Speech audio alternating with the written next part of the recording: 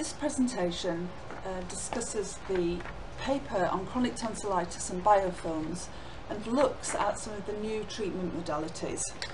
Um, it was written by a team um, from the National Defence University of Malaysia, Swansea University, the University of Dundee and the University of the West Indies. I'm Judy McKimm from Swansea University, speaking on behalf of the team. So the importance of discussing biofilms and treatment in, in tonsillitis is because it is a really uh, important global health issue. So recurrent tonsillitis can be described as when an individual suffers from several attacks of tonsillitis per year, around five maybe. These recurrent infections are caused by microorganisms and often these create biofilms and a repository infection in the folds of the tonsils. And because the tonsils um, are folded and, and are, act as a repository, um, this can then lead to chronic uh, tonsillitis. So in this review we look at different treatment modalities, some of the advantages and disadvantages and some new treatment options which look at the biofilms themselves. So, chronic and recurrent tonsillitis um, is a, a serious global health problem. It affects an awful lot of people, not just children, but adults as well. And it has large economic consequences, cost to the healthcare of providing antibiotics or surgery, but also the cost to the individuals themselves. It is more prevalent in children, um, leading to time off school and education, and of course a significant impact on the quality of life. So antibiotics have, have been used um, for many, many decades really, and they can provide temporary relief, but the tonsillitis often recurs, and this is primarily due to the biofilms and the, the antibiotics or the antimicrobials not getting to the, uh, the biofilm itself. Of course, in the past, surgery um, has been a treatment. Um, it's still used, but less so than it used to be, um, but it does result in many complications. So biofilms themselves have been observed for hundreds of years actually, since the 17th century, um, when Van Leeuwenhoek observed them.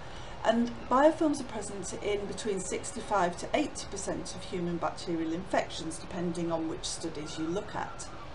Biofilms are systematised communities of microorganisms and they're embedded in a hydrated matrix of extracellular polymeric substances.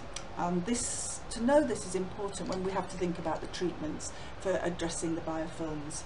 But they don't just cause tonsillitis, they cause diverse persistent infections, dental plaque, cystic fibrosis, urinary tract infections, ear infections, otitis media, osteomyelitis, just to name a few. Um, in tonsillitis um, itself, um, Carnier et al. said that they looked at, in their study at biofilms being reported in 70% of chronic tonsillitis patients. So biofilms, you know, do are widespread. Thomas et al. put it in a nutshell really in this quote.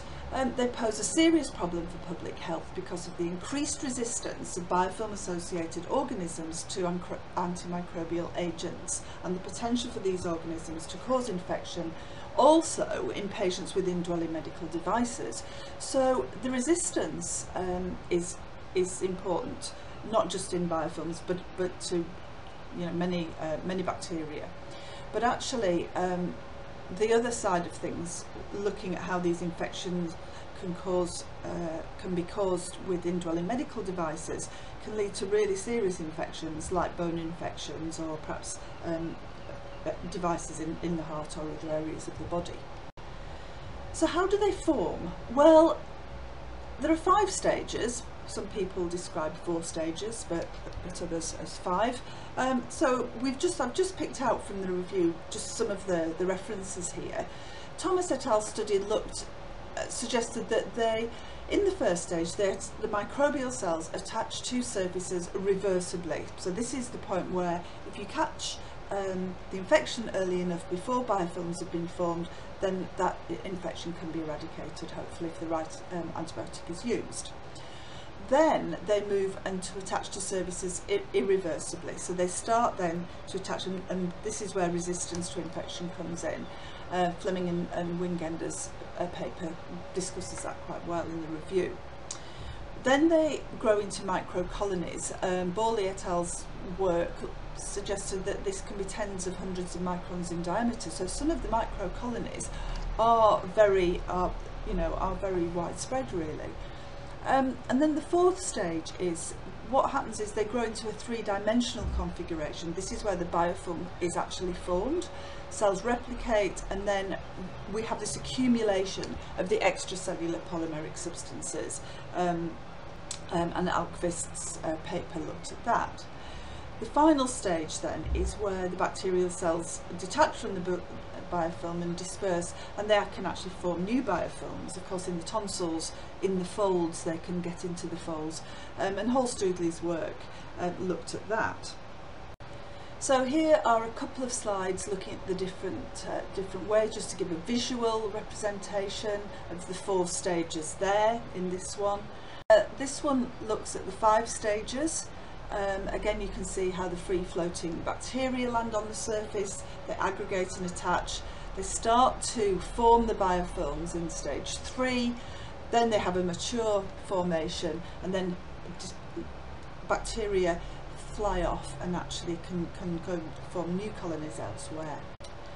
So when we look at the treatments then, we can see that they sort of combine the revival of some older techniques um, and then some of which use antimicrobials but also uh, some new treatment modalities.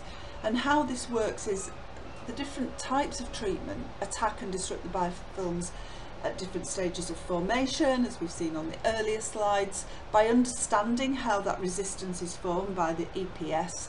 And other newer um, treatments are looking at the immune response and actually helping prevent biofilms from forming and becoming resistant to antibiotics. So here are some examples of the treatments. These are described much more fully in the paper. Um, immunoprophylaxis and immunotherapy, and then a, a host of treatments that look at disrupting um, the extracellular polysaccharides by topical agents, uh, amino acid, norspermidine, bioactive enzymes, cytotoxic agents, for example citric acid, uh, and then two which look at different things, pulsed electromagnetic fields and laser generated shock waves and um, in the paper you'll read that this is especially useful for infected wounds and then antioxidant mediators. Um, also, um, traditional drugs like non-steroidal anti-inflammatories can actually help to reduce biofilm formation and then other ways are looking at physical removal um, and one study uh, looked at vinegar combined with brushing as being quite effective in certain contexts. So these are described in the paper. So in summary then, um, recurrent or chronic tonsillitis is a global public health issue. It can severely impair an individual's quality of life and as we've discussed, these microbial biofilms are a major cause of repeated tonsillitis and other infections. We know more research is needed to develop new treatment strategies, but actually um, what I think the paper really highlights is that doctors need to be up to date with the research and the treatment of biofilms, not just use different antimicrobials or surgery, but actually thinking about the application of topical agents, physical removal of biofilms and other innovative treatments. I hope you enjoy the paper. If you want to, any further information, um, please contact um, Professor Mainul Haque and here's his email. Thank you for listening to the presentation and I hope you enjoy reading the paper.